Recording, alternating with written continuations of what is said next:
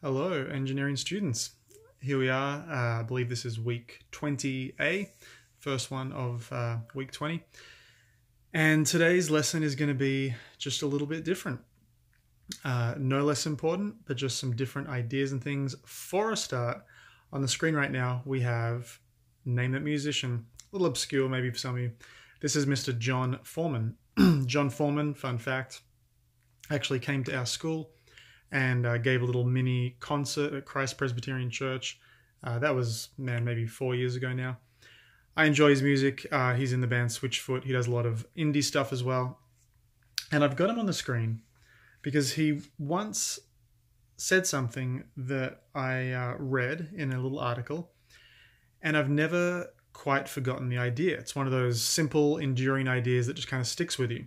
and here's what it is He was asked about his music he does kind of like you know what you might call Christian music, and then he does stuff which seems to be like less so, like kind of worship music, but then stuff that is more like I don't know, like not.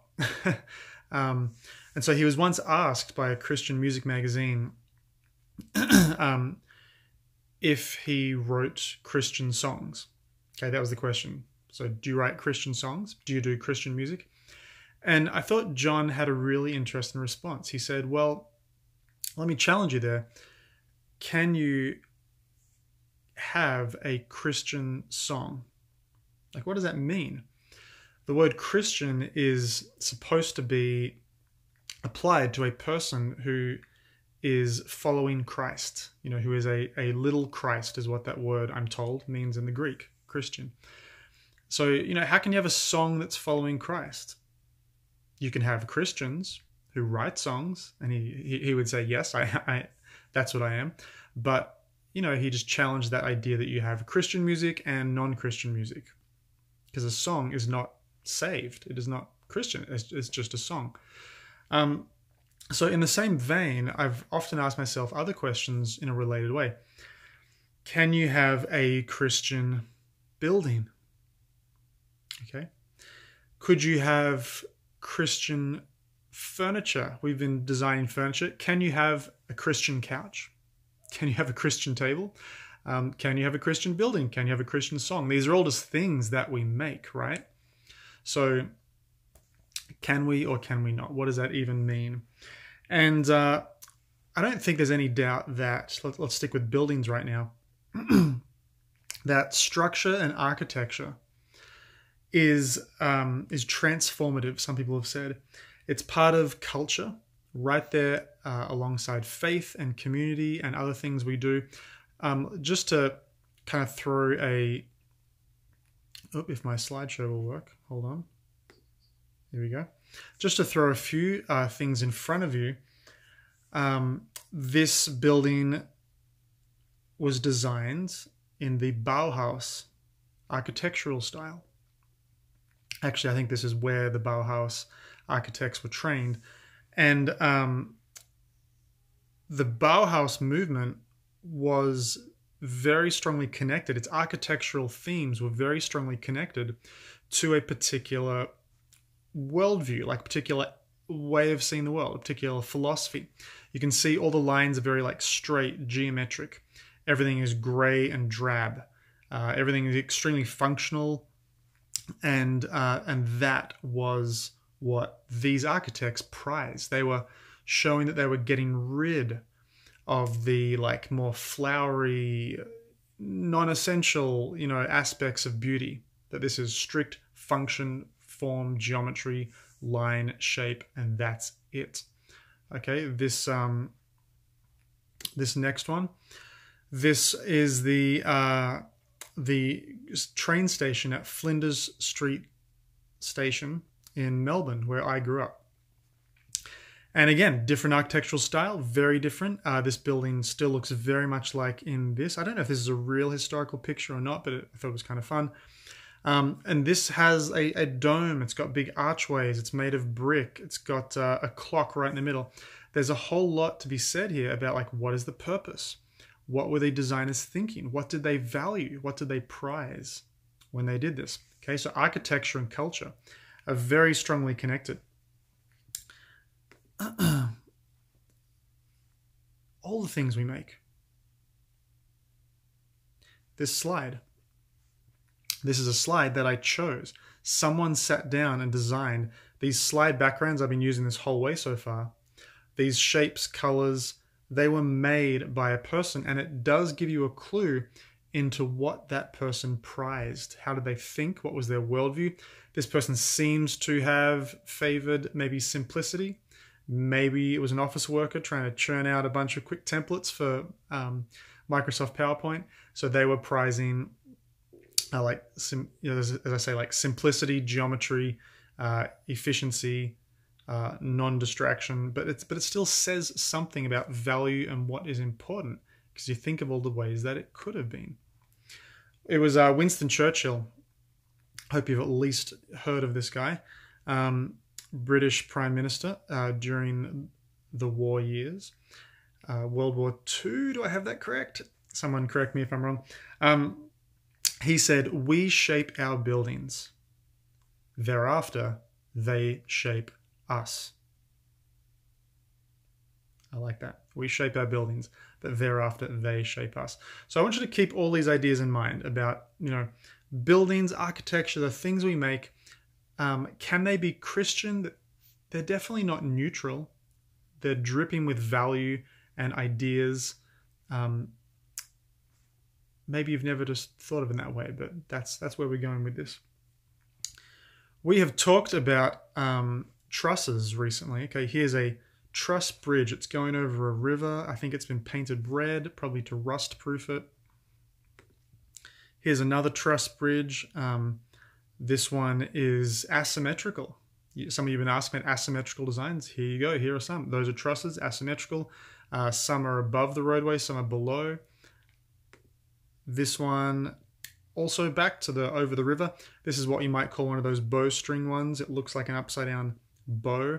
Um, we got those vertical elements. We got diagonal elements and the roadways underneath. So, you know, we, we might say that some of these truss bridges. They're all truss bridges. We might say that they're like more or less efficient. We might say they're more or less attractive.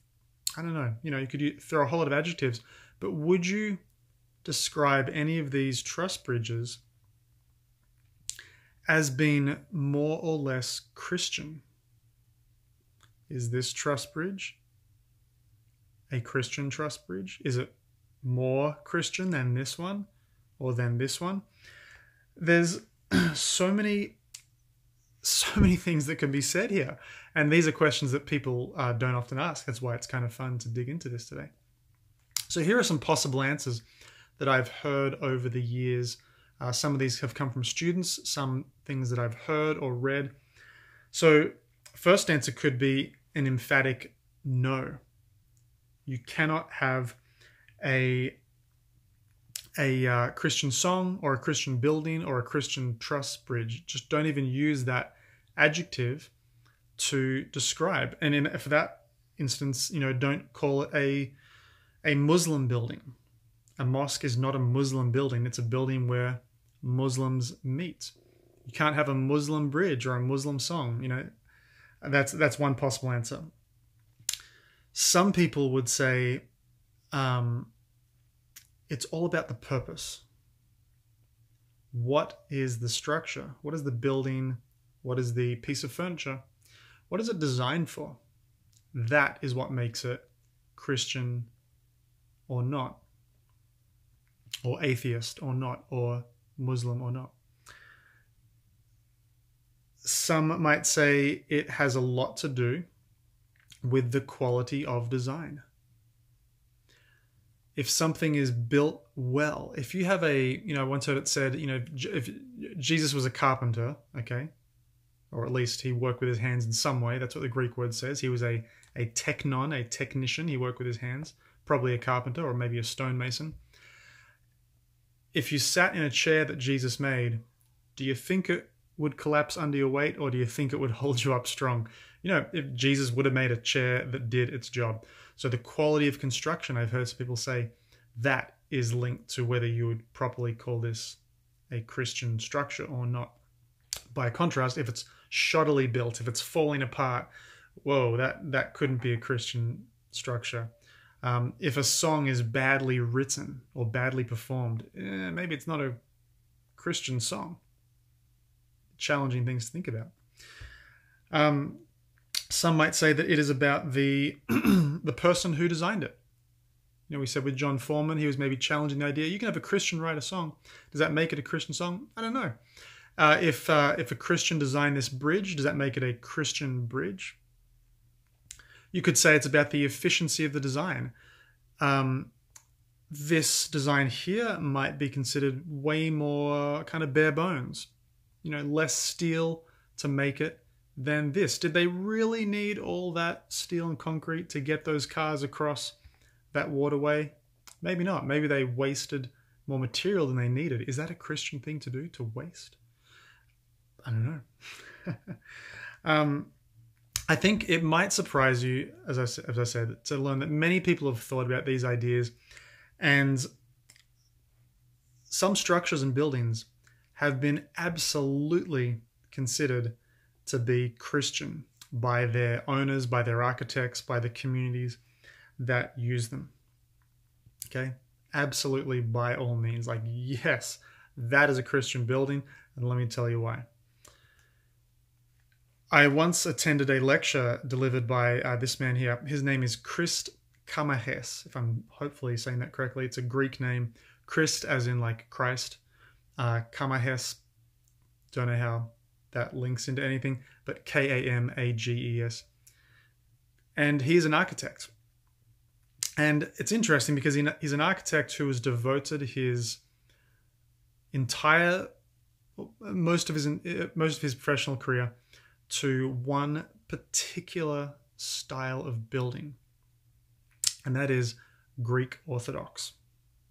Okay, you might not have even ever set foot in or seen a Greek Orthodox building, but that is the one style that for most of Christ's career he has worked in. Here are some of the ones that he has designed as the architect. And by the way, uh, he's considered to be top of his field. He's won many, many, many awards, um, many laudations. Um, most of his buildings, I believe, maybe all of them, are in the United States. But these ones I'm showing you now are Greek Orthodox meeting centers. There's another one. Uh, I think this one was in Florida, if I'm remembering correctly. And there's another one made of kind of brick sort of things, got those gabled and hipped roofs everywhere, and then I'm purposely refraining from saying too much about these, by the way, um, because I don't want to say too much yet. So, Christ Kamages designed these, and he spoke in his lecture about how there are very particular elements of Greek Orthodox uh, culture, religion, um, which are very central. Firstly, Christ is at the center. Okay, Christ is at the center. Very fitting then that your architect's name is Christ, the guy who designs it. Different Christ, uh, Jesus Christ, is at center in the Orthodox tradition, there's a very important principle of light, you know, like the photons that come through the window. Light is critical. Another important aspect of Greek Orthodox culture is community. And, you know, naturally, I think all churches should be about community, but this is particularly true. Um, everything is centered around community and uh, I'm sure meals. I don't know. I'm, I'm picturing dancing, people with violins. Maybe I'm, I'm thinking of Fiddler on the Roof here.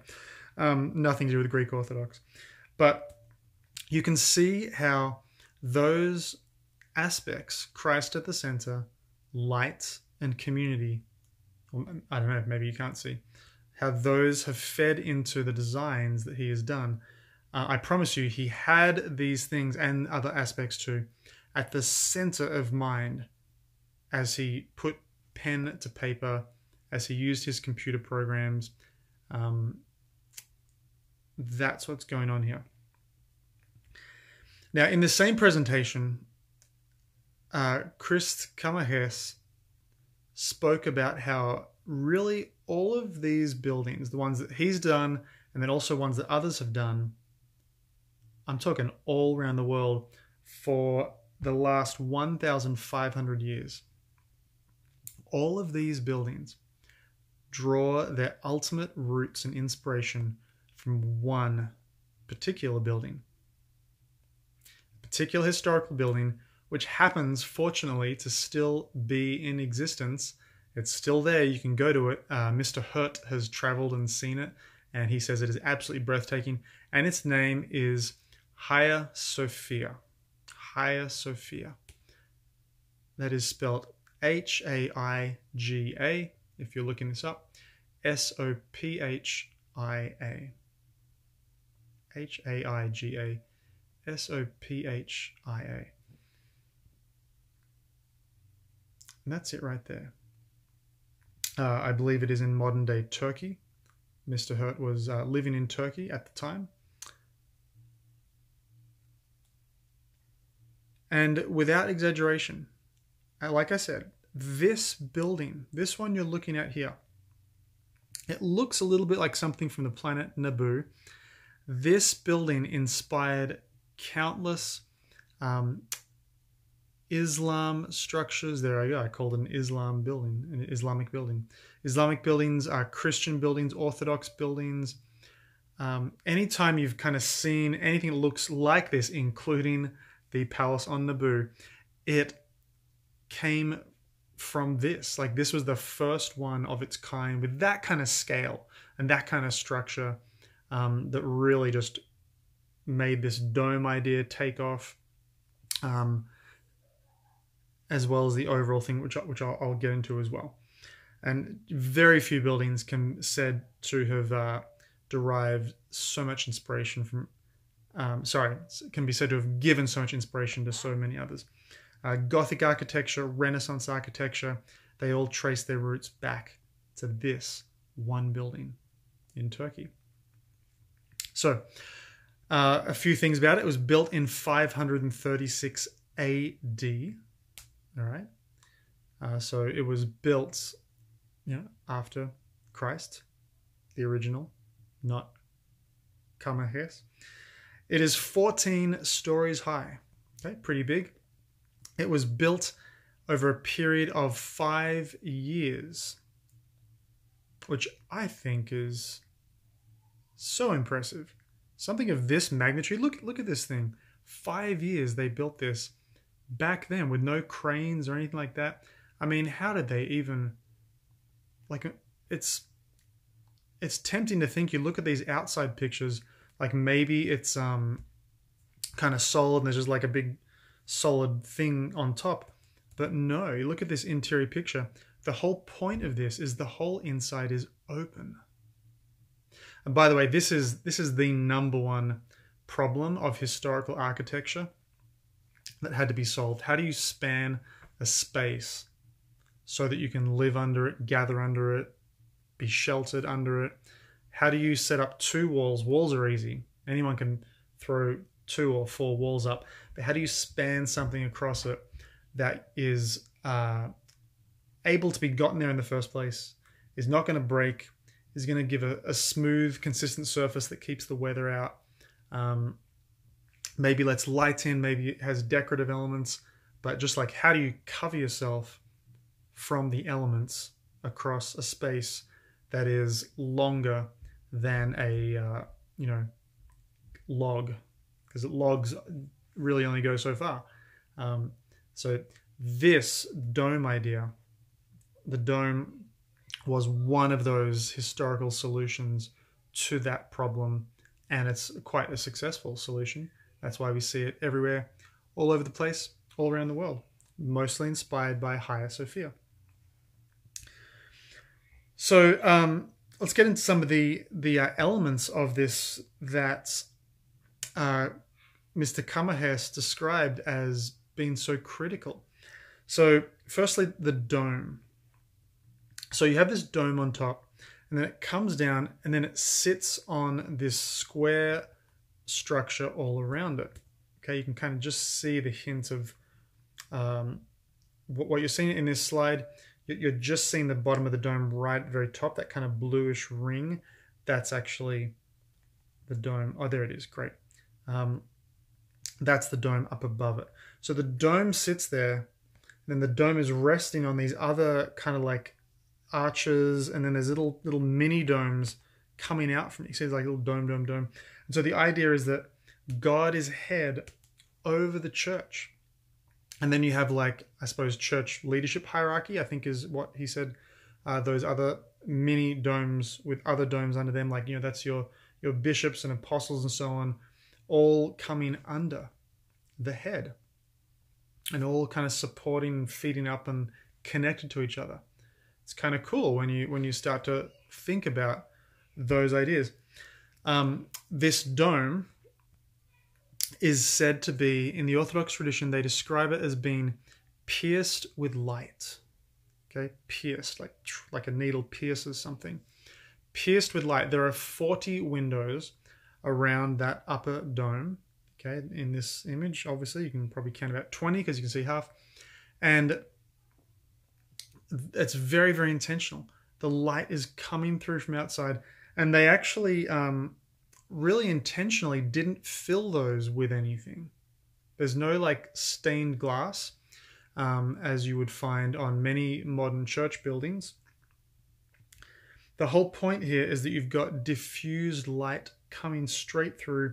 Sometimes in these buildings, there's actually alabaster, which is so thin as to be translucent. Alabaster is a sort of a stone kind of substance. Um, and what this does, is this illuminates all the mosaics that are everywhere. Uh, it is also, um, I, I believe it's reminiscent of like Christ being pierced for us. Also, as we said, light itself is um, is central to the Orthodox tradition. Okay, like light is spoken of in Scripture as um, you know God, first act of God, let there be light. Okay, light is energy. Uh, light is the first thing that God created. Uh, God is light, the Bible even says or he dwells in unapproachable light.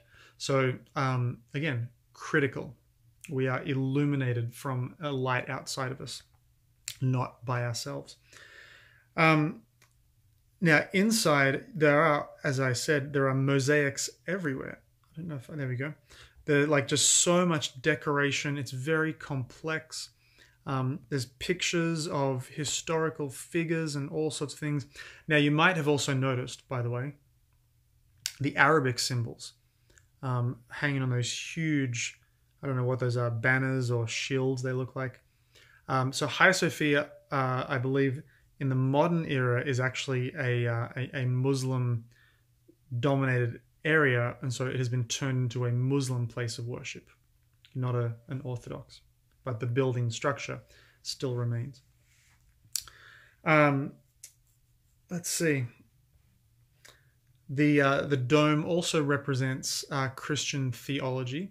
The dome is a circle without beginning or end, so it represents eternity. And then, even down the bottom, they didn't have solid pews. They didn't have like anchored pews for people to sit in, uh, you know, so that the uh, teacher or speaker, uh, that the bishop can uh, preach. They preferred to have removable chairs because, again, the uh, focus of Greek orthodoxy on um, sorry not, not not just Greek but Orthodox Church culture of community. This intentionally big wide open space is there so that you can practice community. Um, before this building, it was common to have like a cross-shaped building. Okay, like if you could have flown over with a drone, you would have seen that the whole building was in the shape of a cross. And, you know, that was chosen because, well, Christ died on the cross. So there we go. Let's have a cross shaped building. But having those wings going out in the four directions actually uh, didn't help community. You know, you've got like four separate areas, and when you're deep in one, you can't even see two of them at any given time. So, this big open space, intentionally open to foster community, these are all choices that the architects of Hagia Sophia made to match and blend theology, practicality, style, beauty, um, shelter, like all these different aspects. And so that's why this is such a, a resounding success that, as I say, inspired so many other buildings of all different traditions for the next uh, 1,500 years. I don't think I am ever going to do anything which is still standing or being talked about in 1,500 years, but it happens. So, just to give some uh, concluding thoughts here, we asked the question at the start can you have a Christian building? Can you have a Christian truss bridge? Can you have a Christian piece of furniture? I'm out there in the garage. I, I was early today uh, building the different bits and pieces for Gil Addison's um, moving computer desk. It's a piece of furniture. Can you have a Christian piece of furniture? And so, just to recap, here are some of the answers. Um, firstly, I think I do agree with Jon Foreman. I think only a person can be a Christian, but I think that the uh, manner in which something is designed, the purpose something is designed for, those can bring glory to God. Those can be useful and worshipful. And I do believe that anything we bring to God as a sacrifice to Him um, can be pleasing to Him, no matter what that is, including buildings and things that we make. Uh, the purpose it's built for, the elements of design can also remind us of particular things about God and His kingdom, and that that was an intentional choice, as we said here for Hagia Sophia. Um, so I do think those are good answers that respond back to the question, and those are good things. Those are, are fundamentally good things. So I hope I've made you think a little bit. I uh, I also do want to want to transition here I'm going to exit out of this if we can do that. And I'm going to switch right over to our whiteboard because I thought there are a few really good questions this week about um, I'm just going to do a little transition thing here. A few really good questions about uh, the deformation that I was talking about with the truss bridge. I've got a slightly different pen today, so I really hope this works. But, you know, we talked about, hey, what if you have a bridge here and you want a really quick um, estimate of like what's in tension, what's in compression. And we said, okay, well, if something pulls down on it, so we're pulling that middle one, we know that middle pin is going to be deflected down probably uh, this one's going to be deflected somewhere as well. And then if we kind of reconnect those, those end ones don't move. Said to ourselves, you know what? I really think that we can kind of estimate what's happening. And, you know, in this case, we'd say, well, I think these top ones are all being compressed. They're actually getting a little shorter. We can see that even in this basic, basic sketch. And then all of these ones are being stretched longer than they were. So that is tension. Okay, and that was done quickly, easily, without any mathematics or any uh, even conceptual free body diagrams of the joints. So people had great questions like, what, what, what's the nature of that deformation? Some people asked, do you need math to work that out? Can it be worked out? Um, does it depend on how much load there is? Um, let's see. Uh, I remember Sam asked, you know, because this thing is flexing and bending, can we even call it a static analysis anymore? The answer is yes, it's still static. Everything is still balanced, just the shape is changing, but it's all balanced. Um, so, super quick lesson here. Everything about a solid structure that flexes, stretches, compresses, it's all governed by a very simple principle called Hooke's law. All right, and if we did the full um, the full statics and structures course that I normally do, this would have absolutely been a part of it. So I'm just kind of throwing this one in here. Hooke's law is is very simple.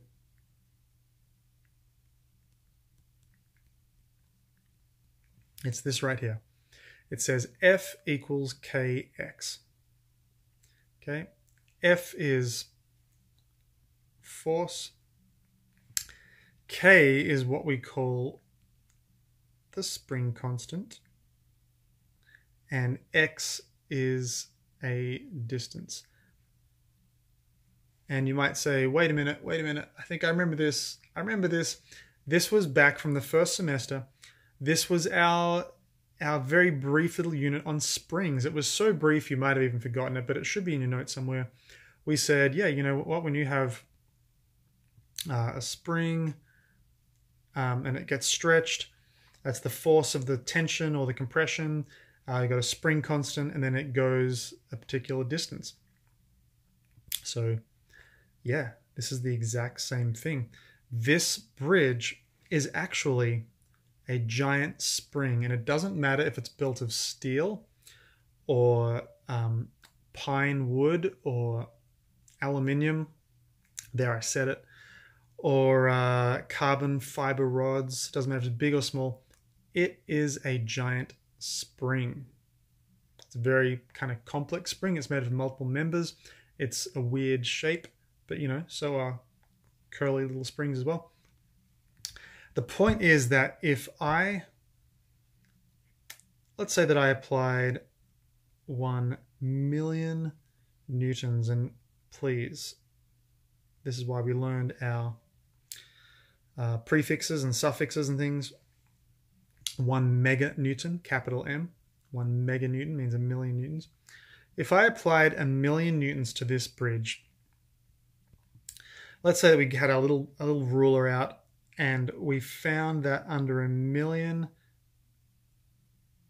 newtons, that middle bridge pin deflected down by five millimeters. Let's say that you could do that. You could with the right equipment be possible. You could measure that. Um, so if that 1 million newtons causes a 5 millimeter deflection, the point here is that if you then pulled on it with 2 meganewtons, double the force, you are going to see a deflection of, can you guess, 10 millimeters. Double. Okay. If you double the force, you're going to double the deflection. Critical idea, but any kind of solid object which uh, can be like you know compressed and stretched, which is pretty much everything except Jello and oobleck and uh, water, you know, but like solid rigid things, they all follow this rule. Now they follow this rule until they don't. They follow Hooke's law until they break, snap, until the fibers inside are stretched beyond repair. But for small deformations and everyday kind of deformations, uh, Hooke's law is actually pretty darn accurate. And you know, in this case here, we could actually go through and work out some things. Let's say we said, um, okay, force is one million newtons. K is the unknown spring constant. X is the deformation from the original resting place. Oh, let me think here. I had to think for a second there, making sure I'm getting my five millimeters converted to meters properly. See that what I'm doing, I'm turning everything into SI units, base units. One million and then 0.005 in meters. And then I would divide these.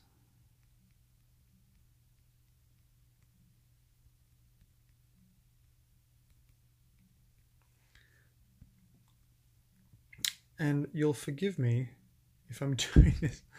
I just don't trust myself to quickly give you the right answer and get this absolutely correct. K would be, was that 200 million? 200 newtons, two, what am I saying? 200 million newtons per meter. Okay, the units for K, we looked at these um, back when we did springs first semester. It's always force per distance. Okay, newtons per millimeter. Um, so 200 million. Now, yes, it is absolutely acceptable if you wish to write 200 meganewtons per meter. That would be a good idea. Um, but there it is. And then you would be able to then feed that. You would then take that and say, oh, look, now I know. Here, let's use that. Let's use the meganewtons. Um, now I have like a like a Hooke's law formula, um, and now I can take any force. For example, I could take like this is now because I've solved my spring constant. Now I could take that that two meganewton and I could say, hey, what if I have a two meganewton force? What's my deformation going to be? We already know that it is going to be 2 divided by 200 is going to be 0.01. By the way, I hope you notice what I'm doing here. Um, I used meganewtons and I used meganewtons per meter, so they're speaking to each other correctly. I'm just trying to not write a bunch of zeros. But the final answer is measured in meters. 10 millimeters is the same thing as 0.01 meters. Okay, but the main idea here, the big point of deformation and deflection is that it is always proportional to the load. If you double it, you get double the deflection. If you triple it, you get triple the deflection. Um, now, if you wanted to get right into it and say, well, Mr. Meadth, we just worked out that this particular member of a bridge, you know, let, let's say you just did one of your free body diagrams and you found that your member has a compressive force of a thousand newtons acting on it. Because that was the kind of stuff that we were coming up with when we were doing our free body diagrams these past couple of weeks. You know, this member or this joint has this many newtons acting on it. It is also possible to take this and say, what is the spring constant of this particular member? This is not the whole bridge now, but like treating each member as its own spring, doing its own thing based on the tension or compression forces that are happening to it. Here's a nice complex formula for you. That spring constant K is given by E times A times L. Now, what are those? Well, E is something called Young's modulus. It is a, a it's a property of the material, kind of like you know steel has a particular density. Um, steel has a particular specific heat capacity. Steel has a particular hardness. Steel also has a particular Young's modulus, which um, it's an intrinsic property. It doesn't scale up bigger or smaller with having more or less of it. It's just part of what it is, um, like like density. A is the cross sectional area. Okay, like as in if you were to slice through this thing and look at the end, like you know what's what's the shape of the cross section. And then L is the length of it. Okay. Two of those things you'd be able to do pretty readily. You could find the cross-sectional area of simple shapes, be they rectangles, tubes, hollow tubes, whatever. You can measure the length of things because you're not silly. Young's modulus you don't have any experience with yet, but um, it, it's, it's just like a measure of how stiff and springy a particular material is. And you can actually just look it up. If you had a question on this, you would look it up and you would find that steel Wait a minute. Yes, steel has a Young's modulus of 210 gigapascals. Giga, well, let me get this right. Giga is a thousand millions. I think I have that right. We have kilo, mega, giga. Yeah, yeah. Why am I second guessing myself? Okay. Uh, pascals simply means newtons per meters squared. Anyway, steel is 210. You know, it's just like a number that you look up, just like you would look up density or something for something, some other kind of problem. Okay, so there it is. That's all I want to get into. This is a little bit of a shorter video than usual. It doesn't really feed into the assignment. The assignment this week um, actually ties back into some of the furniture stuff and applies some of their knowledge to the current furniture projects with Gill and Mrs. Jones.